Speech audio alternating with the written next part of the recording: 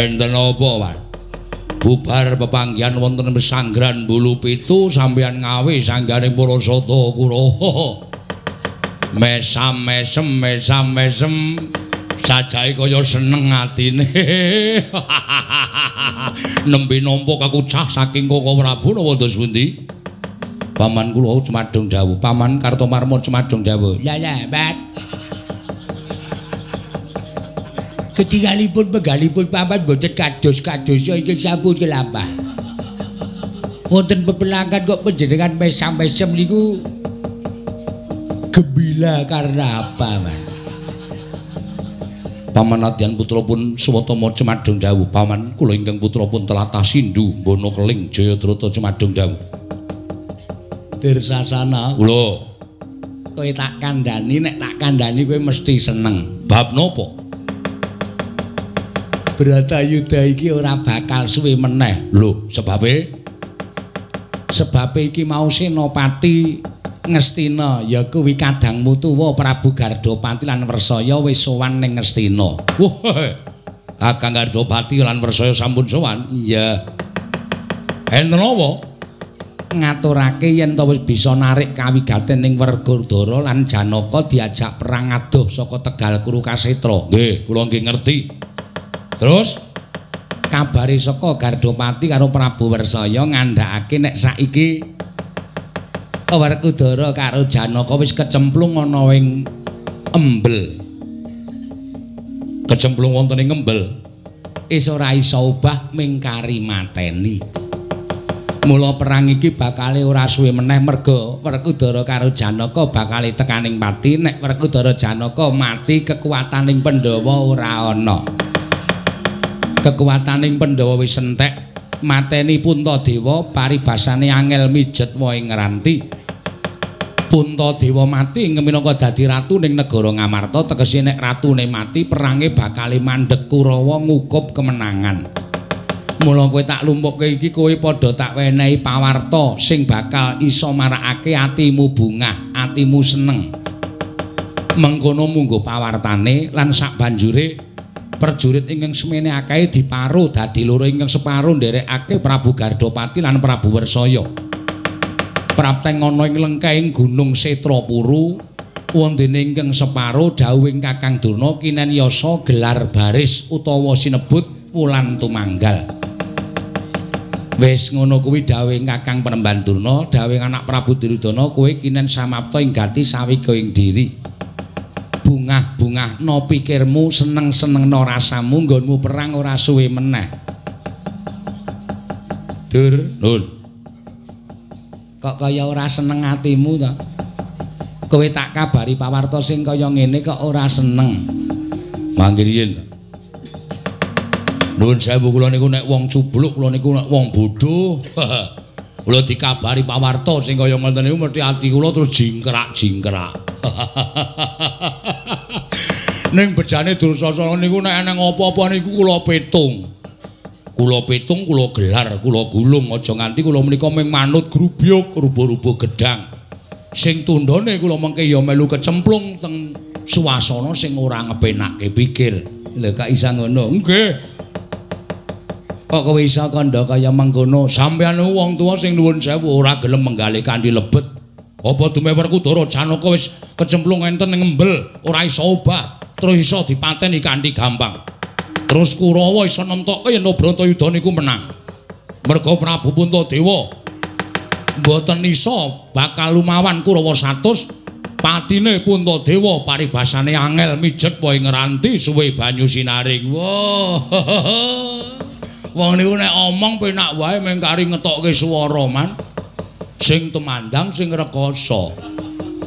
Lha sing tumandang sing rekoso, sing arep mateni Werkudara karo Janaka kuwi Prabu Gardopati karo Prabu Wersaya. Lho tak takon, Werkudara kali Janaka dina niki pun mati dereng. Durung mlebu ning embel wis ora iso obah. Ning bakale tekaning pati merga ature wis ora iso duwe kekuatan apa-apa mingkari nyabet pedang gulune wong loro mau bakale tekaning pati. Lah durung mati kok wis do seneng-seneng. Ngoten. Nung ibarate durung mati kok wis diumumke teng masjid. Ayo tutuki wong kampung sampean. Wong urung mati kok wis seneng-seneng bunga-bunga sampean pripun? Tur nek sampean gelem menggalih lho. Werkudara Janaka niku wani maju perang teng Tegal Kurusetra niku mboten mung paitan wani tok. Ning wis rangkep jaya kawijayan aji japa mantrane wis rangkep mula ora aneh. Nek wong loro nika luput senjata tawa tegese ora iso dikrenah cindrakane ora iso dikrenah patine. Arep wis klebu wonten madyane ngembel ora iso nglawat ora iso obah. Ning ampun mangtem tokke dhisik nek Kurawa niku pun menang Bratayuda. Ampun, wong urung ana buktine Werkudara Rajanaka mati kok wis arep do seneng-seneng. Terus sampean saniki kula suwuni prisa. Nek Janaka karo Werkudara mati kok terus sampean gawe gelar Cakra Biwa, gawe gelar Wulan Tumanggal, mateni Puntadewa, angel mijet wae ngranti. Wo, lah niku boyo mikir wae. Nuwun sewu lho Puntadewa niku ampa klemak-klemek midak telek ora pendeng. Kapuk padha empuke. Telek ya empuk, kapuk ya empuk. Nadyan midak telek ora ning Puntadewa niku angel disirnake. Ampun ming gawe entreng. Nika duwe pustaka jamus kelima sada. nika wong ora tau tumindak dosa wong sing ora tau tumindak dosa niku di, diayomi harus sing gawe urip iso uga Puntadewa mlebu tenggelar cakra biha dikrubut para sata kurawa wis samapta ing gati sawiga ing diri ning barang Puntadewa mundi pustaka jamus klima sada pustaka jamus klima sada dirapal kurawa mati kobong kabeh ya iso mudial we dipikil mal. Sampeyan niku meng Kudala karo Janaka cemplung nang umbele kok. Apa le? Umbel. Embel. Oh, beda. Beda. Embel iki segara. Ning ora ketok yen to kuwi segara nanging wujude kaya dene lendut. Yen obah awake saya mudhun, saya mudhun, saya mingslep, saya mingslep kuwi Janaka Kudala cemplung ning nggon embel kaya. Wo, tak kelo nek umbel. wong nek kupinge sowak ya ngono kuwi. Ngoten lho, Mang Penggale, ampun pun digawe enteng. Napa-napa niku nek digagas enteng bakal abot. Ning napa-napa niku nek dipikir abot bakal enteng. Niku yakin, Man. Siji, durung iso ditemtokke Werkudara Janaka tekaning pati. Loro, ora gampang mateni Puntadewa. Luwe-luwe nuwun sewu, Pandhawa niku anggepe nama ming 5 tok sing maju perang. Serayaning Pandhawa ya pirang-pirang. ratu-ratu sayaning Pandhawa sing padha sumuyut nungkul pangrahing para Pandhawa pirang-pirang. Luwe-luwe Pandhawa diayomi karo pujangganing Bratayuda inggih menika Koko Prabu Ndarawati Rataya. Plirak-plirik mripate. Nek dikandhani ora, oh, wong tuwa senengane gampangke perkara. anak Prabu Ndarawati kuwi ora duwe kewajiban melu perang. Nggih, ning nika sing mranata Bratayuda kula wis paham. Nika sing nata Bratayuda, nika sing ngerteni Bratayuda. Merga nika sing kegurungan buku Jitapsara. Mboten kaya campean ngalor ngidul meng gawa kuping hu. Mbok ora ngomongke kuping hu, Dur. Iki wis suwe banget wis ora ana sing ngerti kuping hu. Uh, sampeyan iku lah Nek Prabu Kresna niku ngalor ngidul nggawa solo. Oh, lelakone bakale kaya ngene, lelakone bakaya bakale kaya ngene. Kula nuwun sewu nggih, Man. Nek Cinuwun Dalawati dulung gugup penggalihe, dulung bingung, niku berarti Bratayuda tetep mlaku kanthi lancak. Tetep mlaku anut kodlating Jawata. Ning nek Cinuwun Dalawati niku wis bingung, kok Prabu Kresna niku wis bingung. Kepi ajeng matrapake ulipe, ah niku berarti Bratayuda pun ajeng miladati kodrating jagat. Kaya niki. Niki Cinuwun Dalawati ora bingung. Berarti Werkudara Janaka niku mboten mati. Ning sing mati Senopati Ngastina. Lha cah iki piye ta iki? Ora kowe iki wong endi ta? Kula tiyang mliki, Man. Kowe melu sapa? Melu Ceng Payu. kowe iki wong Kurawa kudune nek Werkudara Janaka arep mati ki iki seneng. Lho, le beda pelacane wong aja dipadake, Man. Kula niku arep Bratayuda wis dadi, arep to paten-patenan kalih sedulur kula adi-adi kula para Pandhawa. Ning kula niku tetep menganggep Pandhawa niku sedulur kula. Ning kelak bakale kowe kudu mateni Pandhawa apa kowe sing dipateni Pandhawa? Bab niku gampang. Niku gampang ora digawe bingung. Wong ulem niku sing dinteni napa? Antri modal kabeh niku man. Pandhawa menang Bratayuda sok bakal ya tekaning pati, kula menang Bratayuda sok bakal ya tekaning pati. Sok nek tuwa-tuwa kabeh bakal tekaning pati. Ming sampeyan niku suwijining menungsa sing ora mikil mati. Lumangsa sampeyan urip niku mblungsungi kaya ula. Mula pakalti sampeyan sak ngisoling dramaan duwe pakalti sing angkala mulka Budi Candala ora ngerti, ora gelem eling kalau sing gawe urip. Niku Olah cah pelang olah cah pelang Bratayuda niku cecok Pulawa Pandhawa niku do modal dhewe-dhewe. Ngeten. Niki pelang niki rak menganut kodrating sing kuwasa to. Sing jeneng menungsa menika mboten ica oncat kaling teng winatan kodrat. Kodrat, kodrat. Ngeten. Kabeh menungsa menika lamun digaliske duwe kodrat dhewe-dhewe. Pandhawa kalu kula dikodratke kudu pelang wonten ing Bratayuda Jaya Binangun. Kula kali Pandhawa kudu nglakoni pelang. Ya udah enggak apa-apa. Ngoten lho. Nglakoni mawon pelange, sing menang sapa sing kalah sapa, Cuk. Nek wis lampung bakal ketok ora nggo nganggo kalti sampe kok anu Janaka digawa ngado, Werkudara digawa ngado menaja ping Pandhawa ora kekuatan. Bener ngendikane Kakang Mas Dulcacana Puntadewa niku arep kaya ngono niku ya kekuatane ngedape-dape. Lah kok minjul dipamili kanggo wulan tumanggal. Arep dicekel nganggo coklo biyuha. Apa mesti? Apa mesti Puntadewa mati? Belum tentu. Ica uga ngelus ngendikane Kakang Mas Dulcacana Prabu Puntadewa mlebu teng coklo biyuha teng tengah-tengah ajeng dilanjak nganggo jempaling. Prabu Puntadewa mundi pustaka Jamus Klimasada. Monggo pustaka Jamus Klimasada niku nek pun dipundi Prabu Puntadewa jagat niki gempa. 8,8 skala Richter. Niku terjadilah Yuparmi. Tsunami kok Yuparmi. Heeh. Ngoten niku men dipikir lho sak penake dhewe lah. Terus niki pripun? Niki pripun ampun meneng wae mangke ndak sama malah cetluk malah nglekoso. Le mikil banget malah mumet cilae. Dirnut. Adi-adimu diperintahke separuh ngombyong laku ning Gardopati Wersaya. Separuh ngrakit gelaring baris. Toto-toto madeg ana ing Tegal Kuro Kasitra. Nggih, nggih, ngestakaken dawuh. Nggih. Mboten laku namung estu padha paman Hari Sengkuni.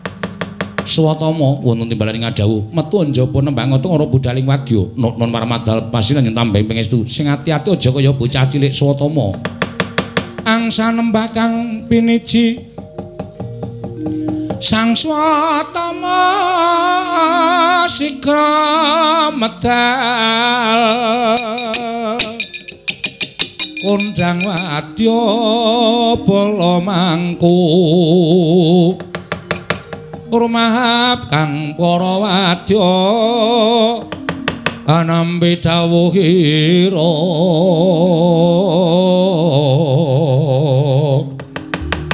tan wonten kang samya kantun. Hamung nenggo bendhe bidal wis rampung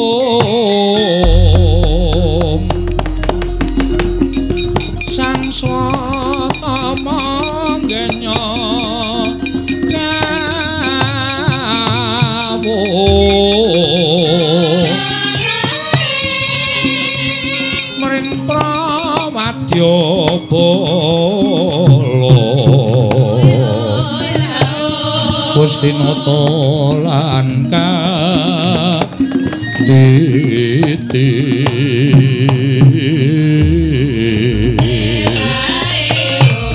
setya putya sang swatama tur matur dumateng paman menawi kadhi dipriksa sarta kabidalaken sumanjiwanji bodol mboten badhe angujiwani Yen to kabeh padha miranti tumuli nembang ngoten ora pisan dandan pindho mlumpuk ping telu bodol nun marmadal pasilan sing ati aja kaya bocah cilik.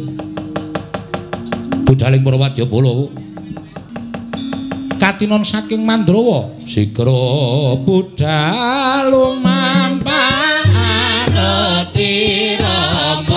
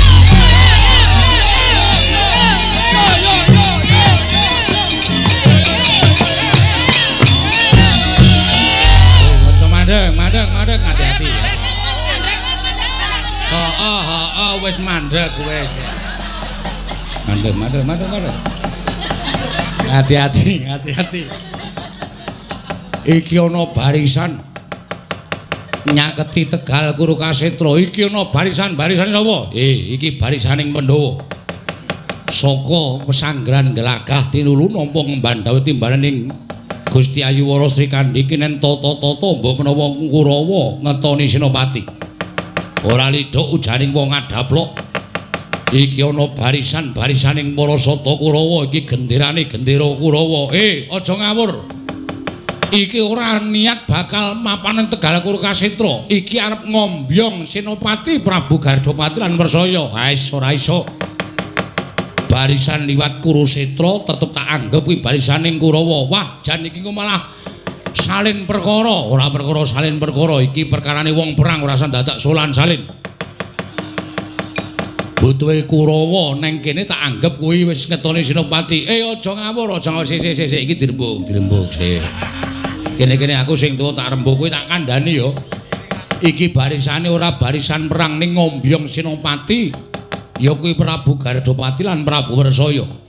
Lah kok tak Tegal Kurusetra? Lah dalane kene kok Nek kowe liwat Tegal Kruseto tak anggap kowe wis maju perang. Wae, iki ora arep maju perang. Lho sawangan tumbake sing dibungkus. Iki tumbake wis ana sarunge dhewe-dhewe iki ora jenenge ora samata ing gati sawi goyeng diri.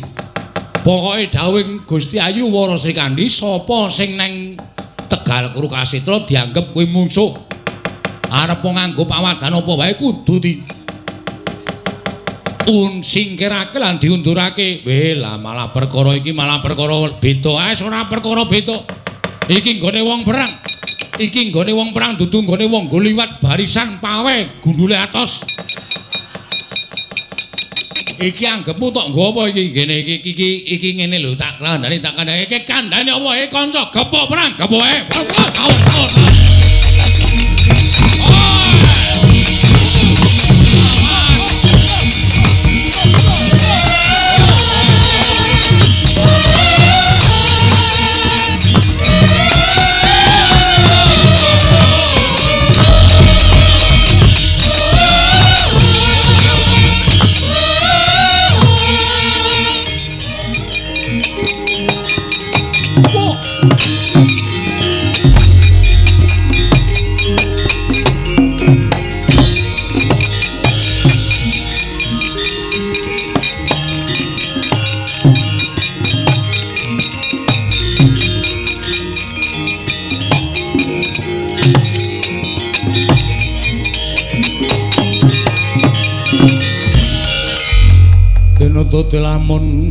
katututan lamun mangsa prawira diktaya prawira diktaya.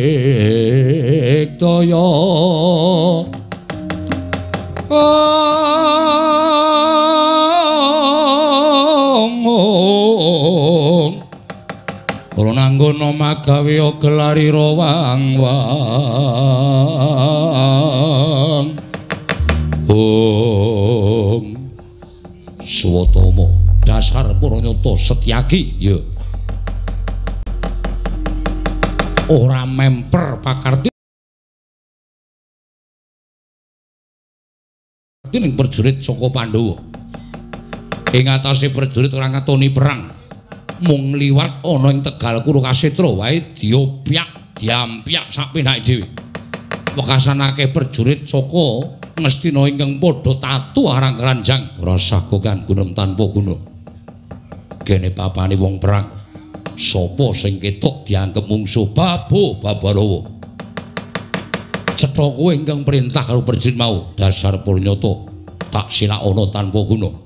Gong eh swatama kok ana dene heeh mati apa ya? Ayo mbuh pengen weruh Satama mati ya. Arep ngopo to sapa-sapa arep tok weruh iso mati iki? Aku mung pengen weruh critane kok ora ngerti, kudrate dhewe-dhewe kok. Ayun-ayunan rundara sencaki wis tantang-tantangan kaya aja omong wae gek perang. Apike ade omong wae engko bek ra sida perang. Iki edan ora Petro ae nggih. Ndara Satama, ya. Bagong kae. Nggih. Ngersake andong napa ndasmu kuwi kuwi oh wani ora. Wani wae ana ndara sencaki kok. Nek dhek arep nganu aku mesti karo ndara sencaki diajar. Gitu Den? Yo. Ah. uh tubrok tubrok tubrok tubrok malah ngece karo. Keparatmu anggere ana kaludhangan bagong lak candha tak kebruki wartu sirahe Oh, kapokmu kapan kowe arep dikepruki watu sirahe. Piye ngene kowe? Muni piye kowe? Arep ngepruki watu aku. Wah.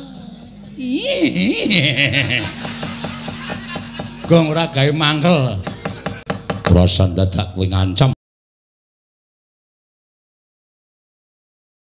Sampono kawanku. Ayo sencake sirna lo, ora gelem minggat menehi dalan Wadyabala Kurawa takon dosa. Kowe sing bakal tak pateni mara jajalan Swatama.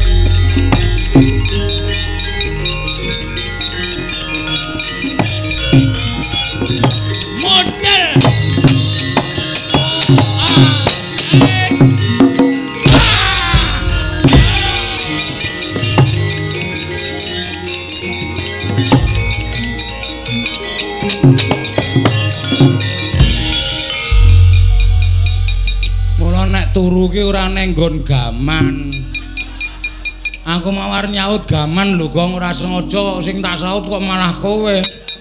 Andasmu tak duro sirahe Durmagati. Gong. Gong. Oh, lemane. Gong. Wong biasane ra apa-apa kok kowe. Hey.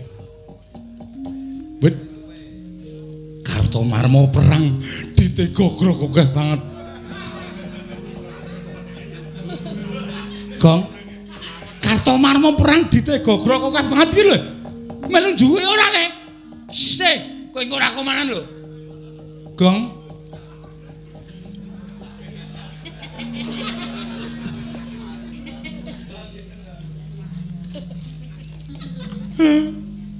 Gong. Aku ora sengaja le.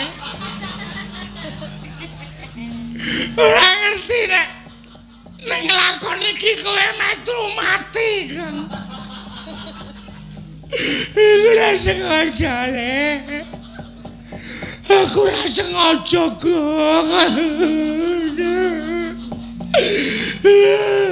Aku meneh turun nang cedhak godhong. Udar tak saut kleru kowe sing tak saut. Ana apa, Truk? Bagong mati, Rek. Eh? Bagong mati. Mati kena apa?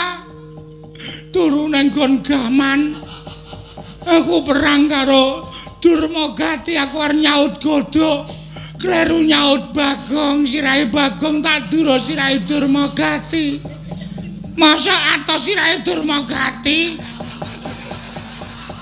misalnya saya ngerti ku bagong ki rameng sirai sing atas suarane we atas lah nyatane mati kene kok. Ya wes ya wes ya mengkari bejo kowe kalpo bejo aku?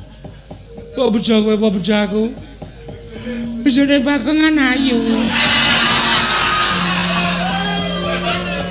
Ayo ngabari secepatnya golek layang kematian. Terus bojone Bagong statusnya ronda kampung. Oh iya ya. Heeh. Wis ora usah digetuni. Nang perangkianane mukti mati kok. Awak dhewe ning peperangan Bratayuda ki ya mung pasrah bongkokan. Sing mati sapa dhisik? Dilalah kok bakong sing mati dhisik. Oh oh apiye lha aku banggo kowe. Nek jane aku le ngesir ki suwe to nek jane lho. Nah kowe rapati osrek e. Sampoke rada lemu ae rapati osrek Ayo wis nek ora pati osrek ya aku wae. Wis asli lho iki nek nek engko kecekel aku kowe ora ganggu lho, ora. Yakin. Wis aku tak bali sik Dilo. Tak apa ya ngabari bojone Bagong nek Bagong mati. Aku andane Bagong wis meneng kene campur kancane ra mumpung kuruse tro batange akeh banget kok. Rasa dikubur ben. Men pangan gagak, pangan singa, pangan macan. Ah iya. Malah ra ngerti lase ya terus. Ah iya. Ngerti aku sipate.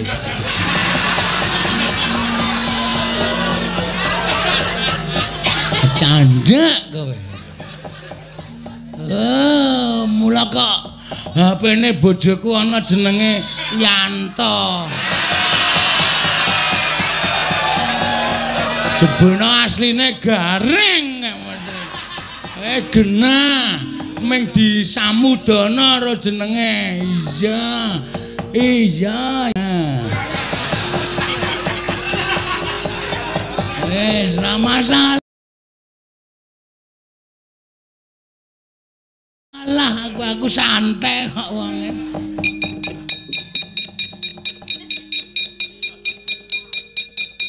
Asli rasa melu-melu ora. Ah dhewe iki wong iki penak kok.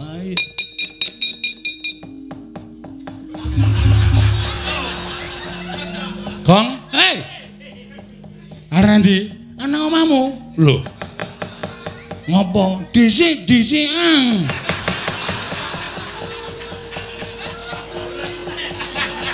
Oh, berarti cakak ya seneng ro bojoku kae. Terus menyang dhisik. Gong, eh sini sini. Piye? Damai, damai wis damai. Asli ra jalan ora. Mulai jalan barang kan aku ngerti kok.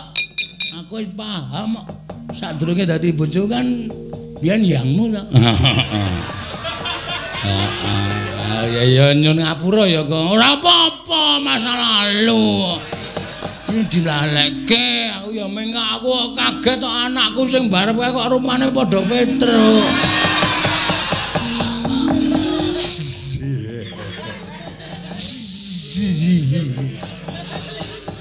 Aku ya gumun anakku sing garep kok matane padha kowe. Tos. Ini aku rai jalan tuk Semar cilaka iki. Alah simbok ereng kowe njur arep ngawur wae. Nekat. Njur jalan tuk Semar ora reng, mbok ora kaya ngono iki. Eh, terus sencaki ndoro udawa sing ngamuk ya ayo dibantu ya, Tra ya.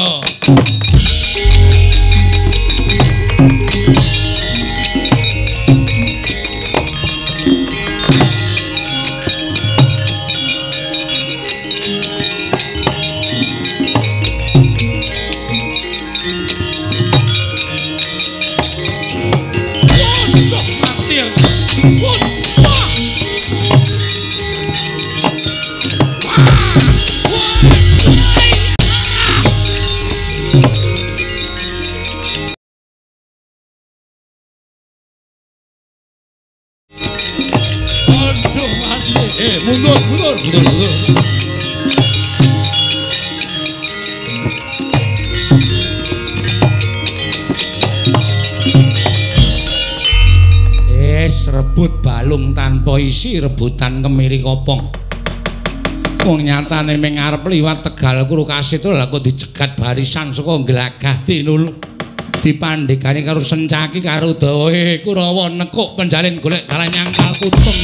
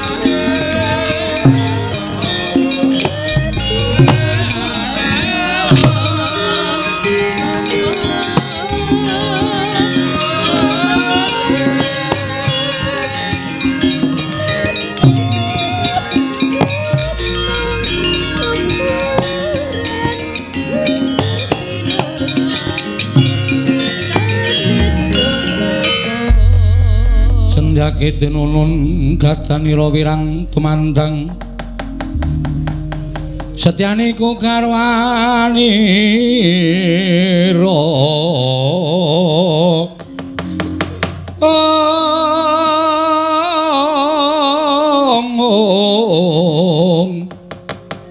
Setyane ku karwani ro karwani ro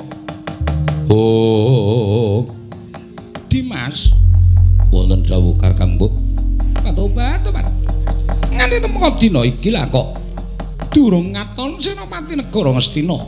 Kanthi kaya ngono iso tak westani yen to senopati ya kuwi Prabu Gardopati lan Wersaya durung tekaning mati. Niki. Lajeng bareng paduka. Perkara iki ora tak anggap enteng. Mula kang sanga kuwi sira Yayi tunggu ana ing pesanggrahan Glagah Tinunu. Dene aku Mbakyu bakal suwana ning ngrandu watangan ngaturake perkara kanan kurus kasetra marang panjenengane Kanjeng Yang Masopati apa dene Koko Prabu Ndarawati. Lho iki. Mulai dulu ngatur namung sembah kula ngiring jemkar paduka Kakang Mbok Woro Trikandi. Petro, nun.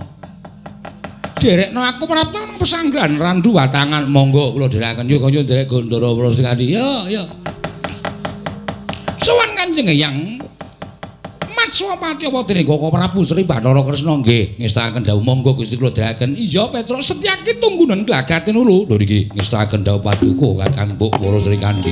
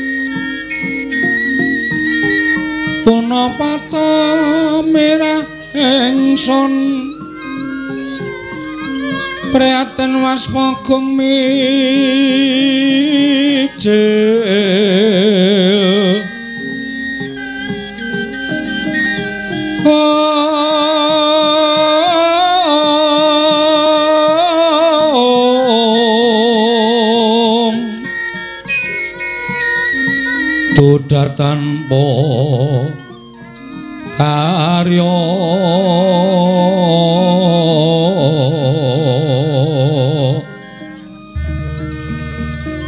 sangkang rinemekan Gusti gelong rino. Sak sekarnya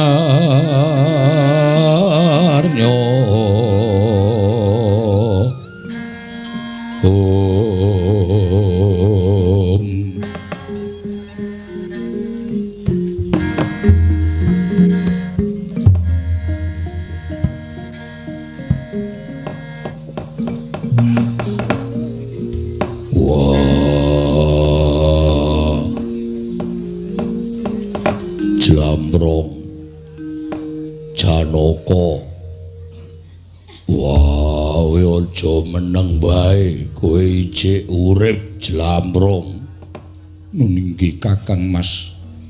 Yo dene badan kula sampun boten saged ngelawar. Kantun nenggo saya dangu, saya dangu. Ing ngrayi badhe kerem wonten ing samudra mbel menika. Tumuli sak mangke kula sampun ikhlas lahir batin kula Kakang Mas. Wah, aja gembeng. Aja cengeng.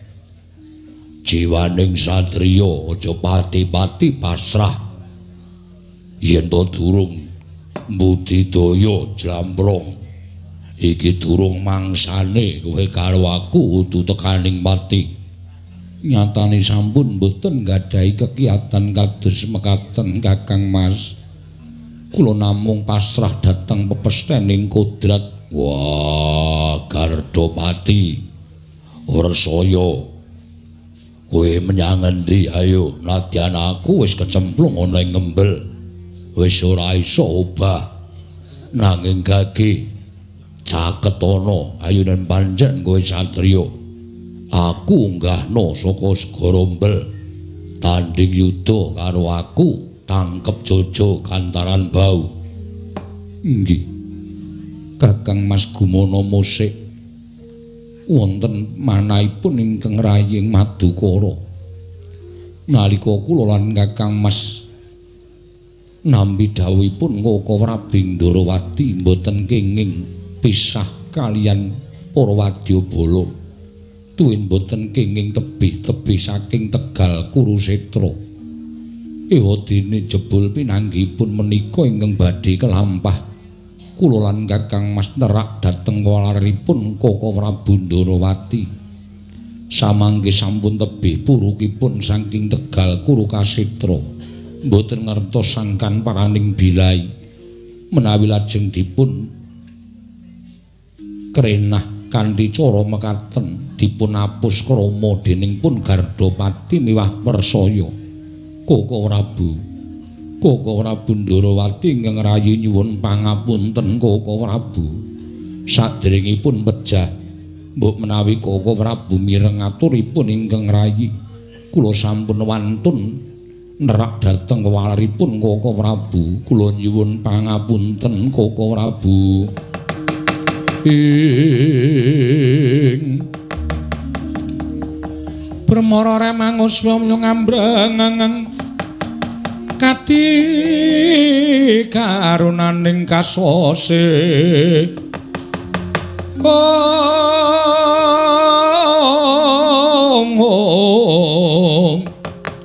yen aneng marga memalat kung ong praptaning prabu gardut pati wa prabu resaya ajingkrak jingkrak krana bingah nyumur pisang werekudara wis prapting telenge ngembel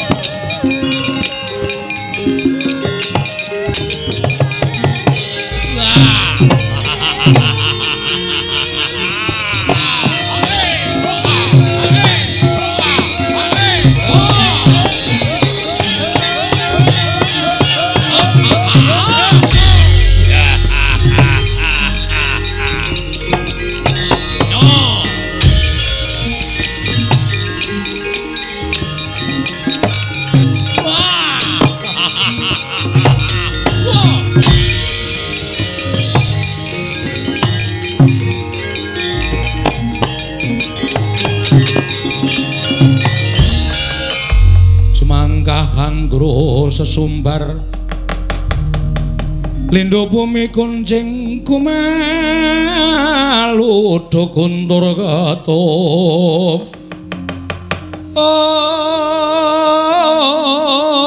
Ong Lumembak penyukang kumambang.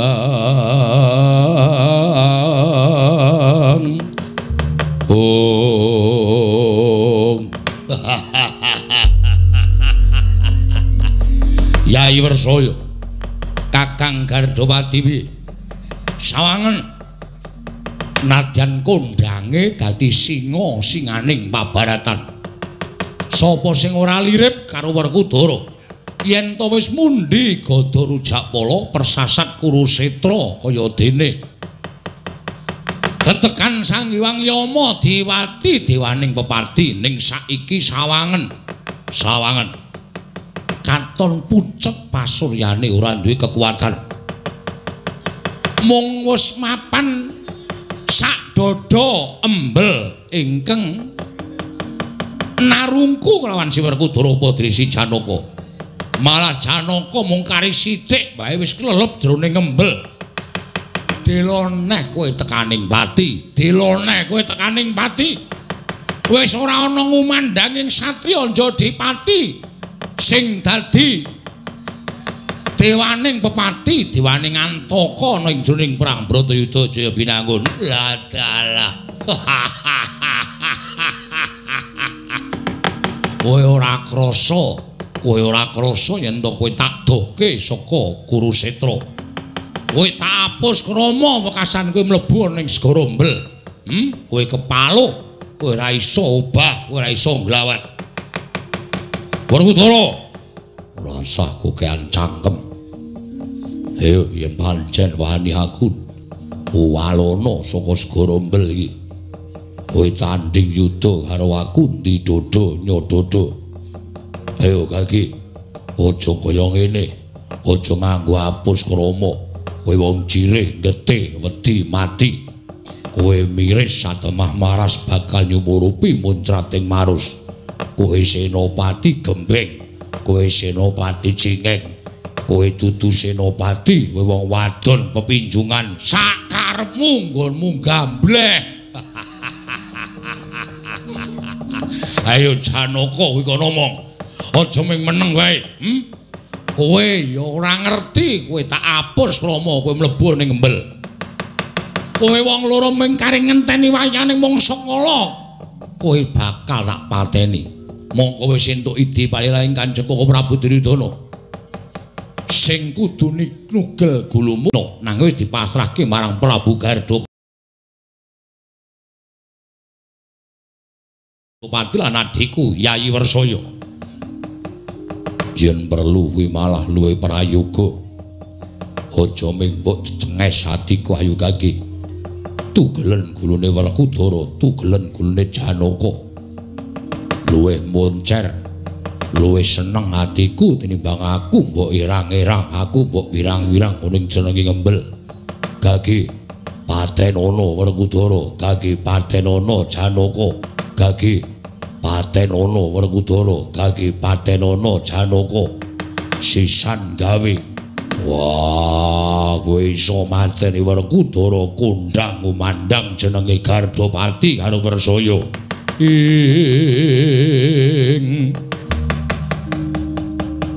Sikrapala kang tumingal prang campo samya medali.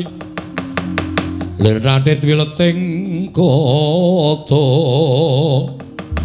Oh kocap kacarita nalika semanten gempung penggaling Sang Prabu Gardawati Sang Wersaya. Sri Gror Katak nalika semanten ngasta bedama wujuding pedhang kekalihira Arsa nigel jangganing Sang Werkudara miwah Sang Arjuna parandening mangke. Saya nyaket papaning sang werkudara ingkang kepaluh madane ngembel datan graita kumrembyah rikmaning nalendra kekalih. Sinaut dening sang werkudara linarak wani den blesekake wonten ing ngembel pejah. Senopati kekalih sang gardopati sang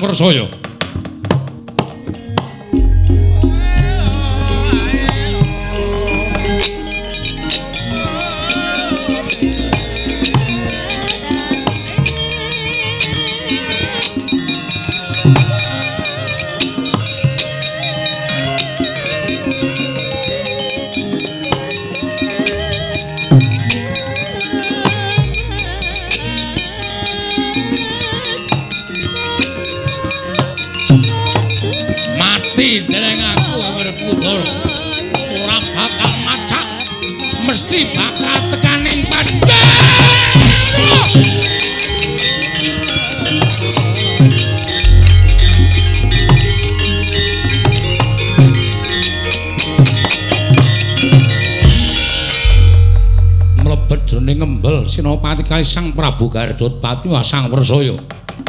Nalika semanten sigra tanggap Sang Werkudara. Kuwanda kekalih kinarya pancatan sigra medal saking telenge ngembel Risang Bratasena wae.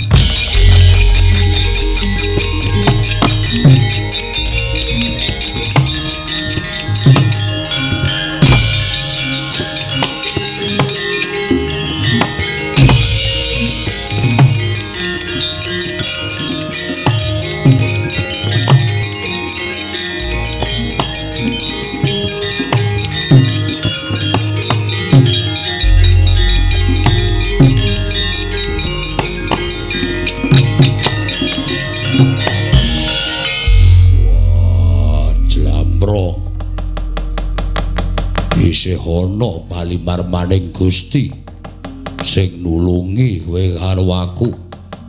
Gardopati Wersaya iso tak candhak tak bleseke eneng gembel kuandane tak nggo pancatan aku iso munggah telenge gembel kakang mas mboten nginten babar pisan pangraos kula sampun mboten mapan wonten ing jana luka nanging sampun mapan wonten ing alamantara sumadya sowan ngersaning wang mahanasa kula sampun boten gadahi pengajeng-ajeng gesang Ewadene saged luar saking telenging ngembel Kakang Mas. Wah, Gusti sing maringi mayungi karo awake dhewe. Nuningge kasinggihan mekaten jlamrong wonten dawuh. Kaya dene wong mlaku sing wis kebacut adoh lakune. Nggone mapan ana ing telenging segara mbel napasku kaya wis mentek. kepareng paduka apa ora luwih prayoga? Sawetara ngaso dhisik ana ing gunung Setrapuru. Sadurunge bali ana ing Tegal Kuru Kasetra suwawi Kakang Mas kula dherekaken. Wah yo dlamro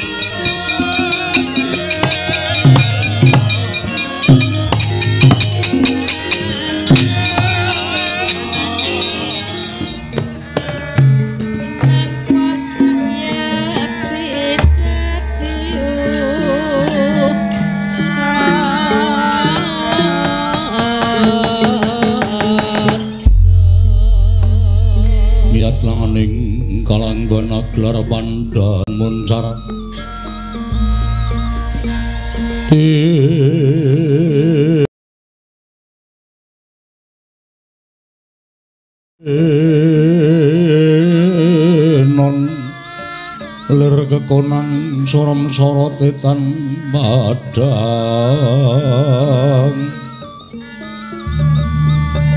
ong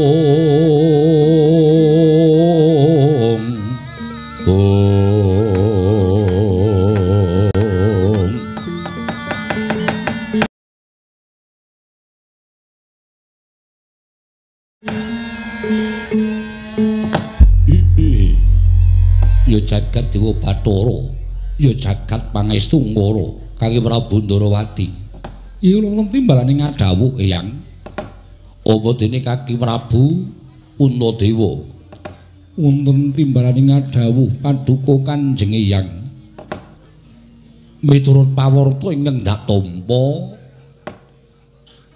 peperangan Tegal Kuru Kasetra dina samengko ora ana ingkang padha ngadoni pupuk disababake senopati saka negara Ngastina ya kuwi Sigardapati lan Wersaya. Narik marang kawigaten ing Siwerkudarapa dene Si Arjuna nganti metu saka Tegal Kuru Kasetra ado parane ninggal marang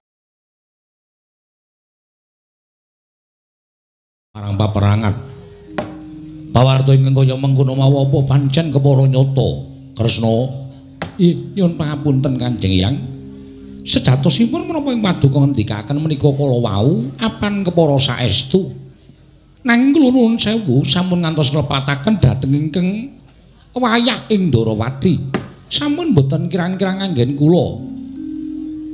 Ngemutaken dhateng kadang kula kekalih Werkudara menapa dene Arjuna? Sampun ngantos pisah kelan Wadyabala sampun ngantos nilar Tegal Kuru Kasetra ewadene mbok menawi krana mubal babal jiwa kasatriyanipun ngantos Werkudara kan Arjuna mboten kiyat nampi penantangipun Gardopati mimpah Wersaya tumunten ing dinten sak mangke dereng wonten keterangan wonten pundi papanipun kadang kula pun Werkudara menapa dene Janaka Dadi kabar sing tak tuwa mau apa pancen kepara nyata? Inggih, kapan leres mekaten? Gusti. Nek nganti kedadiane kaya mengkono, iki apa ora jeneng? Padha karo yen to Pandhawa. Samengko ora duwe kekuatan. Sebab dumenep yang Wirata kang dadi cagak tuaing Kaki Prabu Puntadewa. Lan kang dadi senopati golagul. Saka Wadyabala Pandhawa tanana kejaba mung putuku Siwerkudara padine Janaka. Yen to nganti Werkudara lan Janaka iki mengko ora kundur marang pesanggrahan yen to nganti para Kurawa ngetoni senopati sapa? Sapa ingkang kudu dijagakake? Sapa ingkang kudu dijagakake iso nambak lakuning wadyabala saka negara Ngastina Kresna. Gagat risang kapirangu. Ong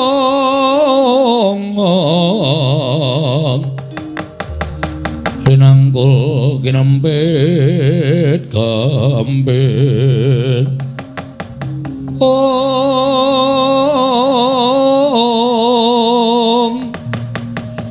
Rinangkul kinempit kambit dosang reknaning bawana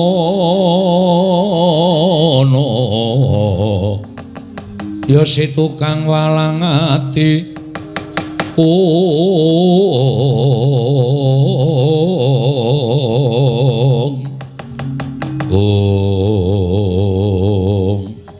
Nun sewu yang Miturut pemanggihipun ingkang wayah ing Ndarawati menawi mekaten pandanganipun paduka Kanjeng Eyang.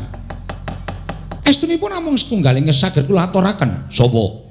Sapa kang kira-kira bisa nambak lakuning para wadyabala Ngastina? Kula nuwun sewu. Sampun ngantos damel kerja ting penggalih paduka Kanjeng Eyang. Ingkang saged sak timbang sak bobot kalian kekiyatanipun Arjuna. Menika namung nuwun sewu. Atmajanipun Yayi Janaka piyambak. Inggih menika pun anak kula Abimanyu Kanjeng ing.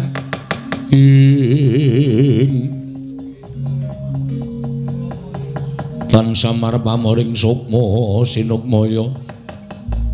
Sinukmaya winah ya wing asepi sumimpen telenging kalbu Om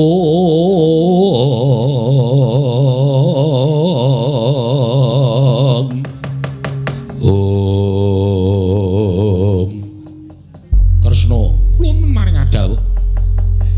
monggo dina iki Abimanyu disingetake ana ing negara Wirata. Siji, Abimanyu aja nganti ketok merga bocah kae ginadang gadang dening Pandhawa. Ing ngangka loro anakku si Utari ngedeng bobot. Lah nek nganti Abimanyu iki mengko dijokke ana ing pabaratan apa ora jeneng padha karo sulung mlebu geni iwak kecemplung ing wuwu.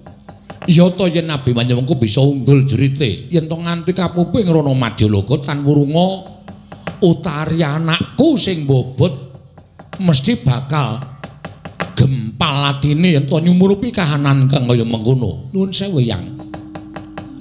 Menawi saking panginten kula lalampanipun ingkang wayah pun Abimanyu menika estunipun namung nyiksa dhateng manahipun piyambak. Lho, Kosek. Kok nyiksa marang atine Abimanyu dhewe sebab apa? Jalaran Abimanyu menika jiwanipun satriya.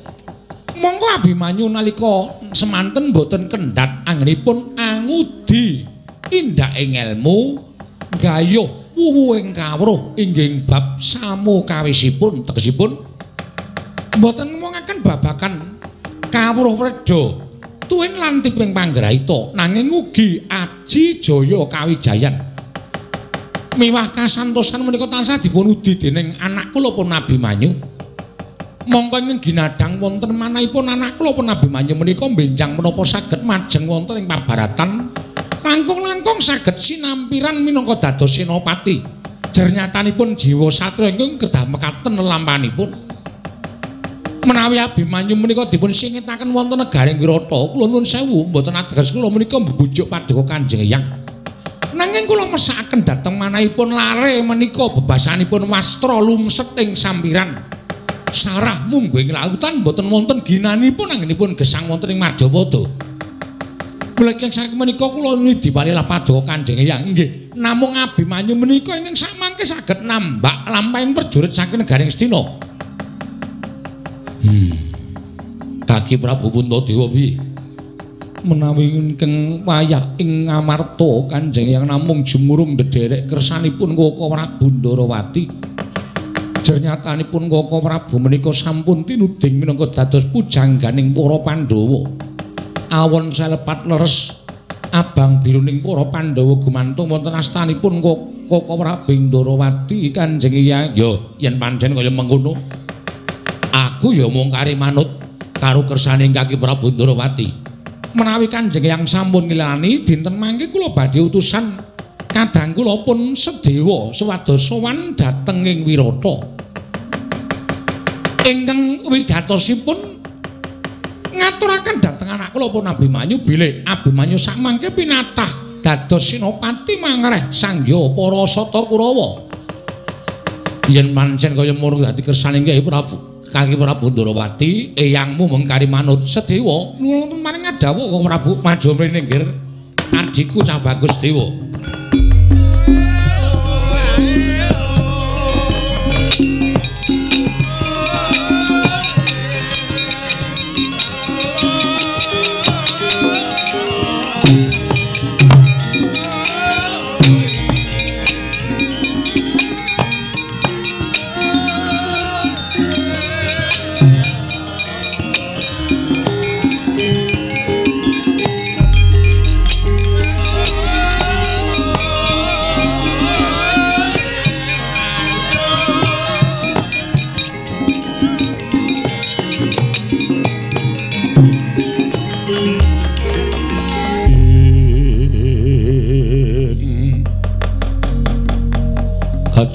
Putra lamun kawekasan ya kowe sanggeni moyo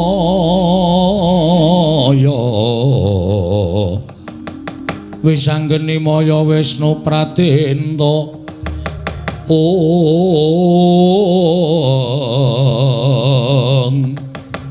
ong stiwa iwon timbalan kok prabu aja wedi kangelan. Lumarapo marang negara wirata.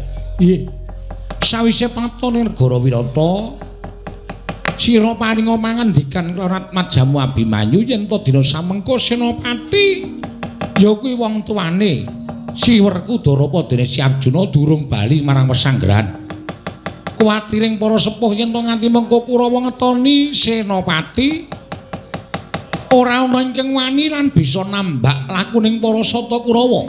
Mula Abimanyu dawuh ana supaya ganti marang ramane ya kuwi Si Arjuna supaya madeg ana ing Kurusetra inggih ngestaken dawuh Koko Prabu lajeng bidalipun ingkang Rayi benjang menapa ora ketang sambung obor cara lintang mangkat dina iki nganti apa kawan. Nuwun inggih nyun pamit Koko Prabu Kanjeng. Yang kula nyun pamit sing ati-ati sedewa aja kaya bocah cilik putuku cah bagus Thank you.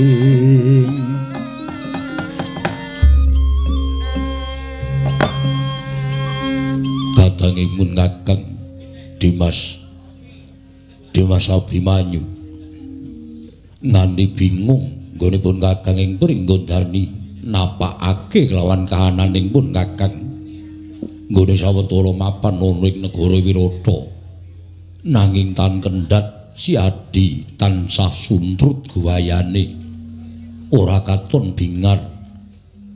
Abimanyu apa ingkang mbok penggalih adikku di adikku bocah bagus? Yen pancen penggalih si Adi nandang sunggawa apa ingkang dadi darunane? Lan apa ingkang dadi sababe pancen si Adi menggalih sawijining perkara.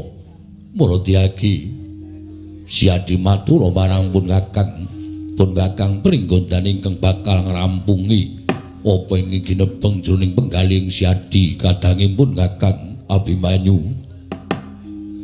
Nuwun sewu kakang Mas.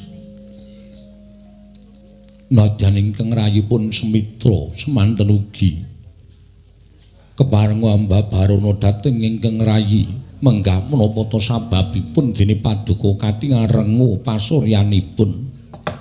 Nuwun sewu kakang Mas ingkang rayipun. Wilu ganggo semanten ugi keparenga hamba barono dhateng ingkang rayi. Ngantos bingung anggen kula badhe napakaken dhateng awak kula piyambak. Krana tansah sumerep dhateng pasuryan paduka Kakang Mas Tanjung Anom ingkang tansah katingal rengu pasuryanipun Kakang Mas Kakang Mas Pringgondani Kakang Mas Gatot Kaca adikku Abimanyu kepiye? Semitra kula wonten maring adhawuh apa dene sira wilu iki kula wonten maring adhawuh Kakang Mas bebasan wastra lungset ing sampiran sarah mungguing lautan. Ora ana gunane Abimanyu urip ning alam padang teka ingkang dak gadang-gadang ingkang kula gayuh ngantos sepriki merucut saking gimbolan uwal saking kudangan Kakang Mas lire piye dene siadi paring dawuh kaya mengkono? Lire piye dene kadang kok Abimanyu matur ing kaya mengkono? Nuwun sewu Kakang Mas. Paduka prisa piyambak. Bilih kula menika jejer putra ing Madukara. Mongko niating batos gandeng Kanjeng Rama menika mujudaken satunggiling satriya ingkang jagat menika ngantos keberbeken dhateng umandhangipun Kanjeng Rama. Dene kewajibanipun anak menika tansah njunjung derajatipun tiang sepuh. Anak menika menawi saged kedah mikul dhuwur mendem jero dhateng asmanipun tiang sepuh. Nanging kados menapa gelaning manah kula dini Abimanyu sak mangke mboten saged mujudaken gegadanganipun tiang sepuh ing atasipun para sepuh sami taker marus milang tatu madyaning tegal kuru kasitra ing atasipun punden-punden kula sami abentiyasa kalian para kurawa. Nanging sabab menapa Abimanyu malah kasingitaken wonten ing negari Wirata. Abimanyu mboten dipun parengaken medal saking negari Wirata. Ing mekaten pangraos kula lajeng gelo manah kula tumuli tumlawung. Krana anggen kula gegadang saged mbebila dhateng tiang sepuh. Saged ngaturaken dharma bekti kula dhateng tiang sepuh. Parandening sak mangke cabaring damel. Ing mekaten sampun boten wonten ginanipun Abimanyu menika ngrasuk jiwa kasatriyan. Ing nyatanipun kula boten saged napakaken dhateng jiwa kasatriyan kula mboten wonten ginanipun Abimanyu menika mapan wontening negari Wirata lan langkung pantes Abimanyu menika kedah dipun sebrataken kisah saking negari Wirata krana kula satunggiling anak ingkang sampun boten saged labuh labetu maraping tiang sepuh kula piyambak Kakang Mas Kakang Mas Pringgondani Rekata Dian Kaca. Om Om Kinon Mapakar Kosoto Om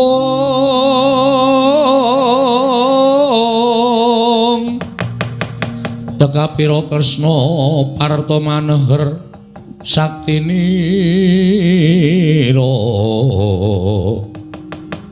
ing ujaran wang-wang semunggar cita. Ong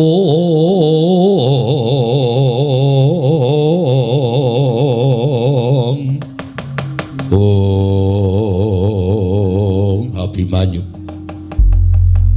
Kersaning para pepunden sayekti nganggo dasar dasaripun menopo dasari yen to punden Pandhawa iman nglawan Siadi sabab Siadi ingkang digadang-gadang bakal nyambung sejarah ing para Pandhawa.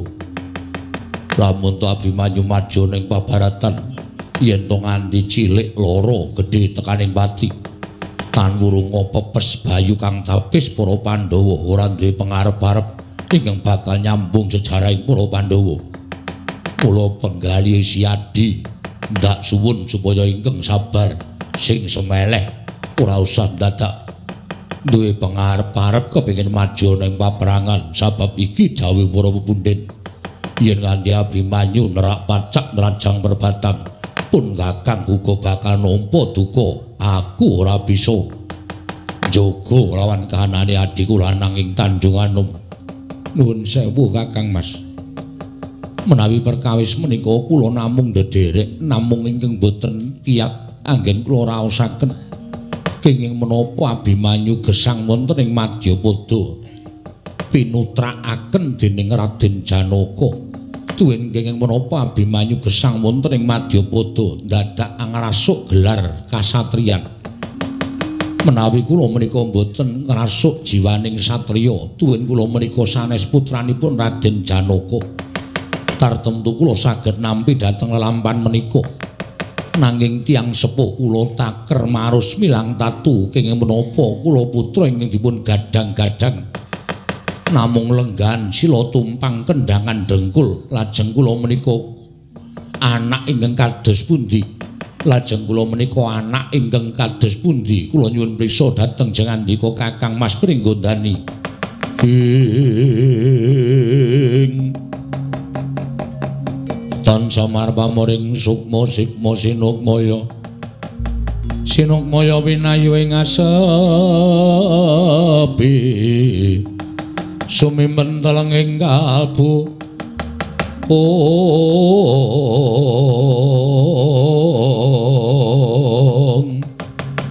Ong. Dereng ngantos paripun sami mbawacana kasarurawipun Satra ing bumi Ratawun nggih Sang Sedewa kadherangan Sanggra Parpura kawan kagiat risang Abimanyu wau.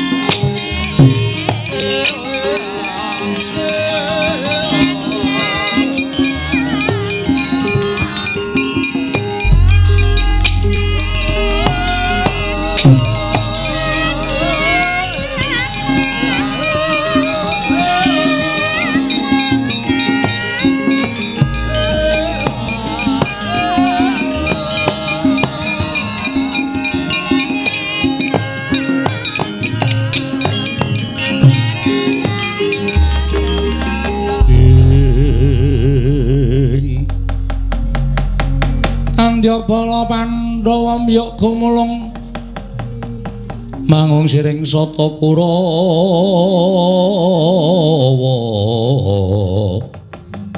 kambaung kesru katite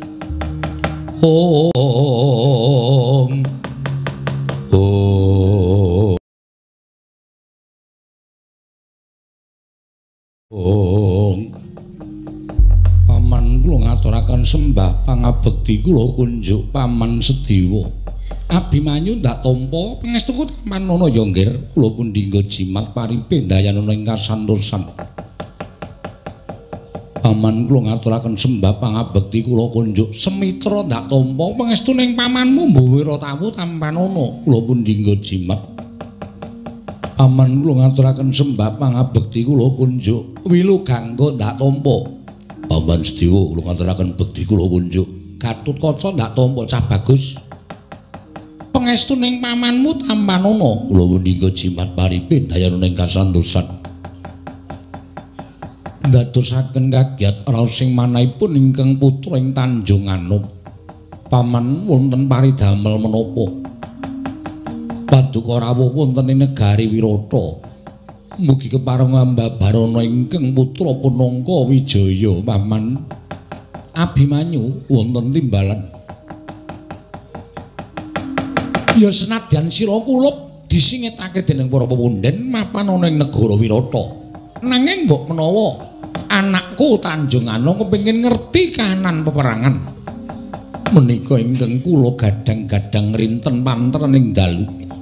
malaistunipun namung boten ngertos pawartos wonten ing paperangan sageta ingkang putra manjing telenging paperangan Abimanyu wonten drawuh nalika semana wong atuamu lan sakarone ya kuwi wong atuamu Jodipati lan Madukara pinatah madhek Senopati ngembari marang Senopati ning para Sata Kurawa ya kuwi Prabu Gardopati lan Prabu Wersaya. Inggih kasinggihan mekaten. Mongko wong atuwamu ya kuwi Kakang Mas Arjuna wis wiling dening Koko Prabu Ndarawati wis dielingake. Aja nganti misah. Sarta aja nganti ngadoh saka Tegal Kurukasetra. nanging muga saka mubal babaling rasa ingkang tan bangkit pinambeng. Eling-eling bapakmu kuwi ora tanate mambu penantang. Monggo banjur ditantang dening Gardopati lan Wersa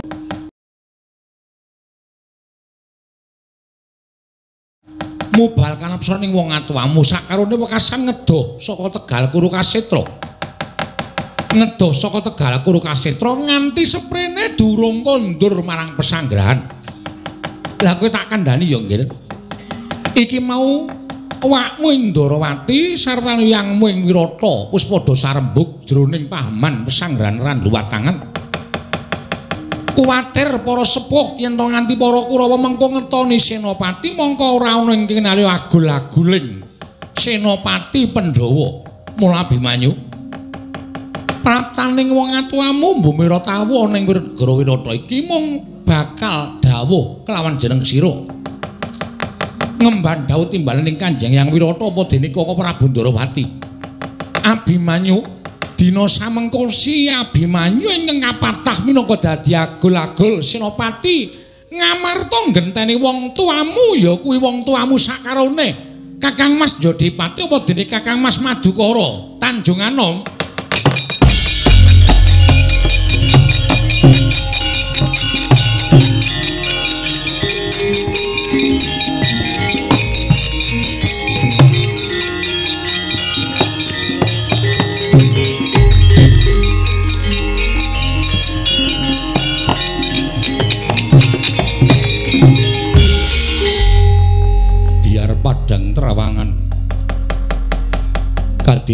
dene lumamping wanci peteng kepapak obor sastra paman dene paduka paring dawuh mekaten.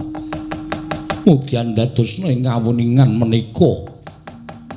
Pangandika ingkang kula antu-antu wiwit kula mlebet wonten ing negari Wirata ngantos singgo dinten sepriki. Jebul nyatanipun Jawata midanget menawa dados panggersaing manah kula satemah pepunden sami dawuh kan paman Bumira tawu dawuh kan ingkang putra Bangka Wijaya supados kula madheg suraning driya jejer satriya ingkang kados mekaten menika ingkang tansah gumana musik wonten manah kula Kanjeng Paman Sedewa Abimanyu iya. Mula kang saka kuwi tak jaluk tata-tata samapta ing gati sawega ing diri. Aja nganti katalompen pun paman kondur marang sanggrahan randu watangan. Sak kunduring pun paman abimanyu disuwun dening para sepuh. Supaya njaga kanan tegal kur kasetra yen to mengko kurawa ngetoni senopati diborongake marang cira kulup kanjeng anom. Sembah kula ingkang nderekaken jengkar paduka kanjeng paman bumira tawu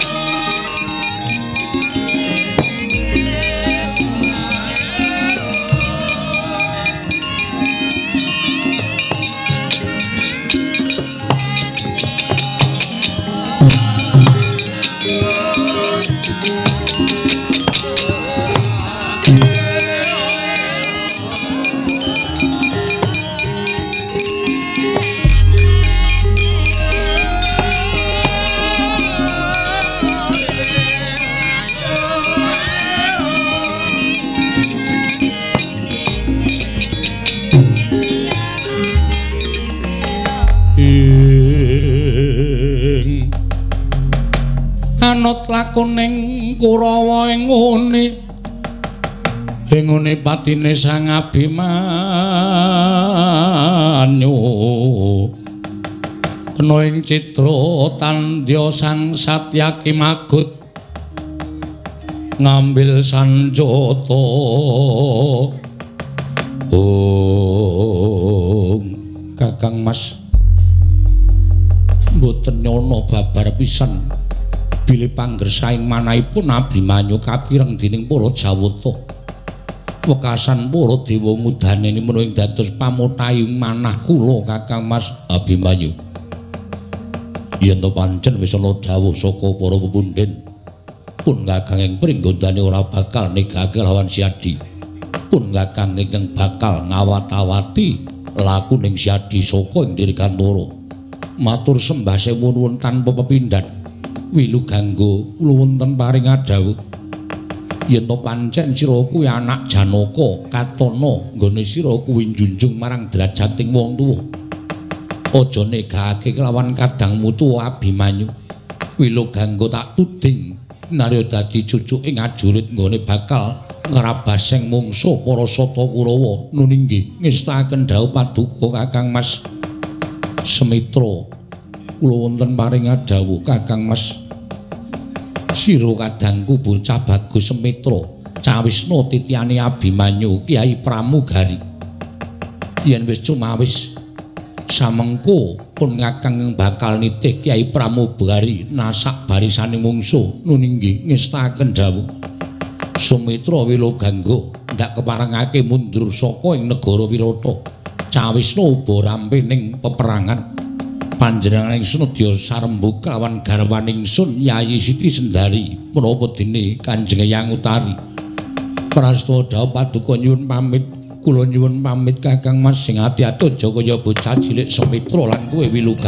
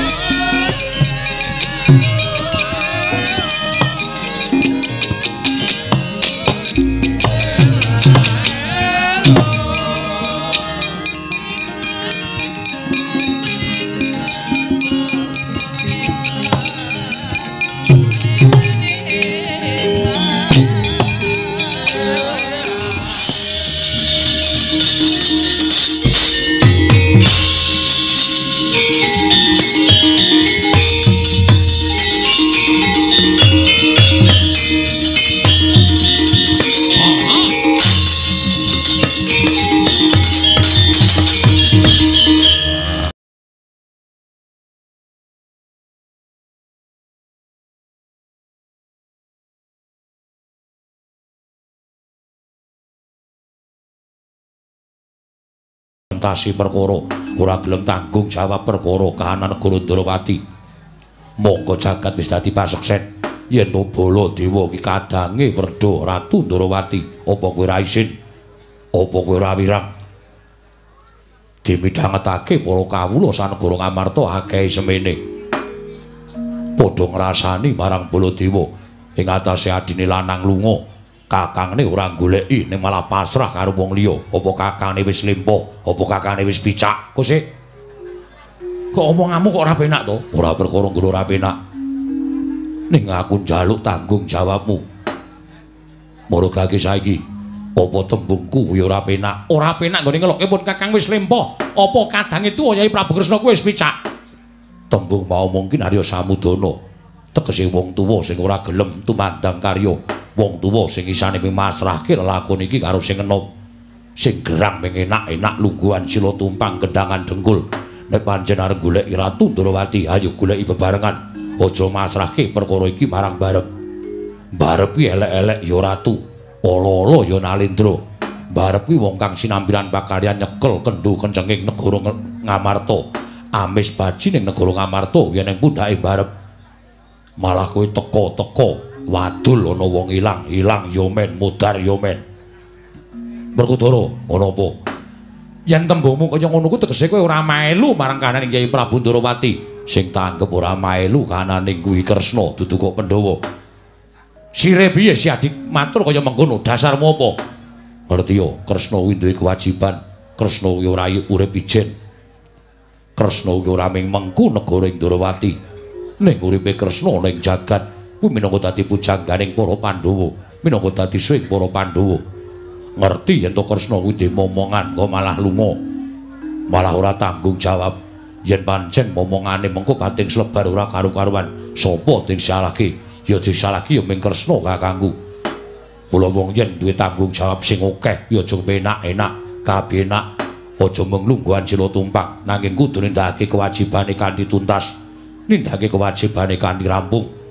Monggo Kresna kakangku duwe pamom, duwe wong sing dimong kuwi Pandhawa. teko malah lunga saka negara Ndrawati. Tegese Kresna wis ora tanggung jawab karo Pandhawa. Tegese Kresna wis ora maelu karo para Pandhawa. Sebab Kresna wis mentolo ninggal marang para Pandhawa. Yen Kresna wis ora maelu marang para Pandhawa, gunane apa Pandhawa maelu karo Ratu Ndrawati? Wah, kok malah kriwikan dadi grojokan keguyon dadi tangisan ki piye? Werkudara. Iye. Tekaku ning papan kene iki sayekti mung bakal wadul perkara Yai Prabu Ndorowati nggone linggar praja ing Dwaraka.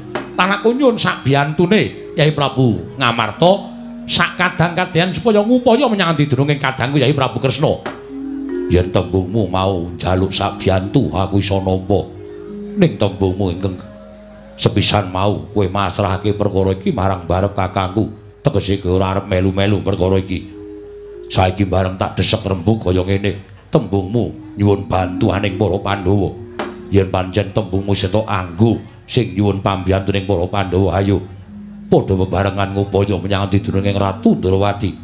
Lah yen tembungmu masrahke perkara lungane Kresna kakangku marang Pandhawa, Werkudara sing ora sarujuk, Werkudara sing ora matuk. Yo yo yo wis yo. Iya iya. Wah, mengko malah tekan ngendi-endi. Yai Prabu, wonten timbalane ngadawu. Jumbuh lan aturipun kadang kula pun panenggak inggih menika pun Werkudara. Sawanipun ing Raka ing Mandura. Ingkang sawit kula jabel masrahaken gak babakan Yai Prabu Ndrawati angnipun nilar projeng Ndrawaka dhateng kadang kula ing Amarta. Namung sakmangke monggo dipun upaya sesarengan kados pundi saranipun lan caranipun supados kadang kula Yai Prabu Ndrawaka ing galopun wonten garing Ndrawati mesakaken dhateng sangya para kawula Ndrawaka ingkang sami tinilar dening Yai Prabu Kresna.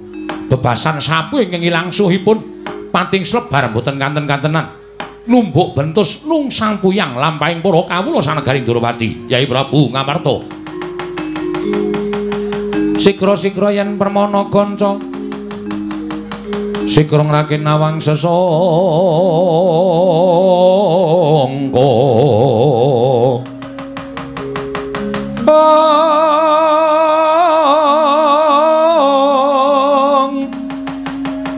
Narendra mbek marwa sing sang katriku mulung. Katriku mulung mangrempak ing wadya ong ong kura rek akire kire ro nanggono magawe gelari rawang wang Om Om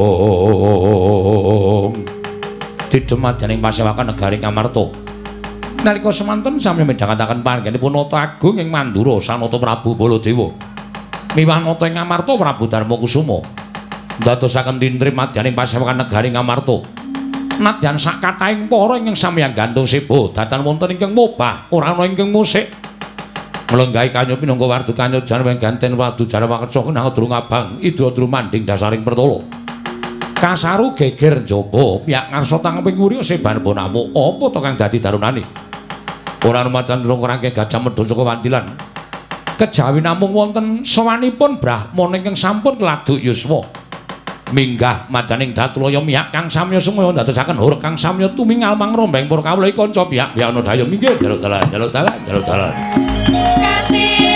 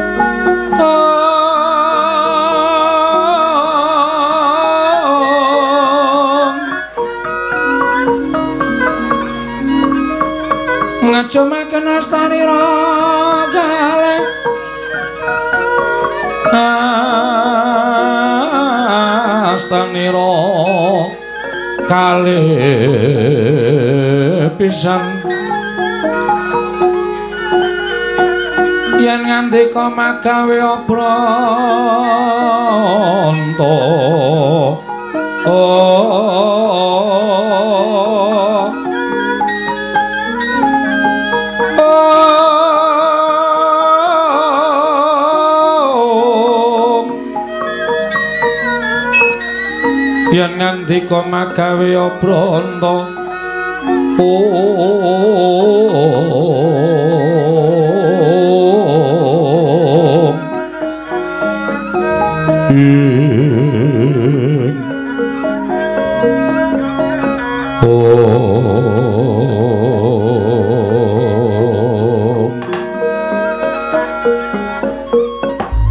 oh Prabu